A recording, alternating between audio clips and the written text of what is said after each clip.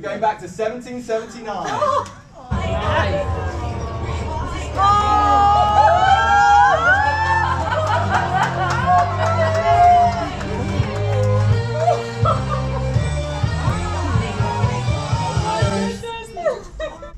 Hee hee, my name is Samuel Seabury, and I have a very important message from the king. What's Daddy doing?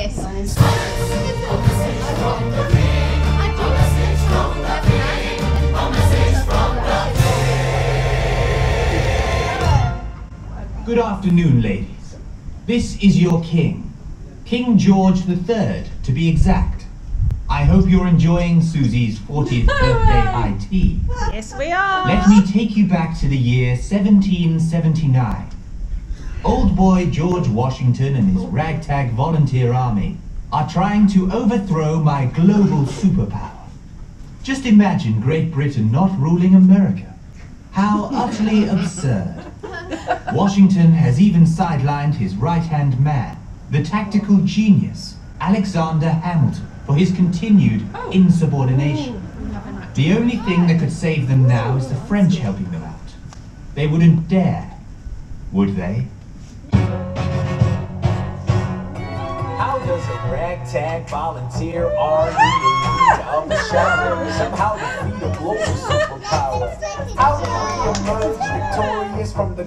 quagmire? The battlefield waving Betsy Moss's flag higher? Yeah, turns out we have a secret weapon, an immigrant. You know when love was unafraid. He's constantly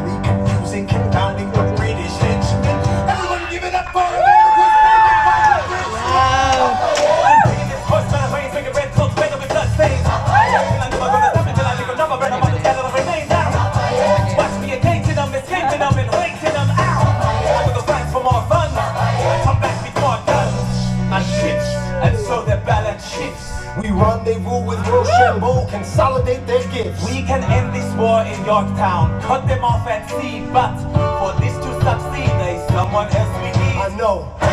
So he knows what to do with the trenches, you know it's about with the French I mean. So you're gonna have to use them eventually. What's he gonna do when the French I mean? No one has more resilience or matches my practical tactical brilliance. You want to fight for your land back? Get my right hand man back.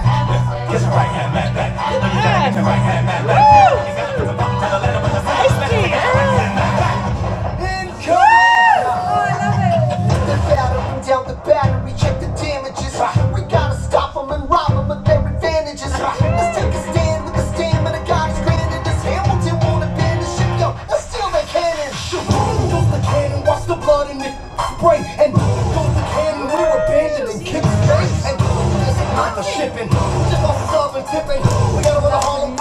Afford another slip. Guns and horses, giddy up. I decide to divvy up my forces. This skittish as the British cut the city up. This close to giving up. We said last scrutiny. I scream in the face of this mass mutiny. Are these the men with which I am to defend America? We ride at midnight, hiding in the distance. I cannot be everywhere at once, people. I'm in dire need of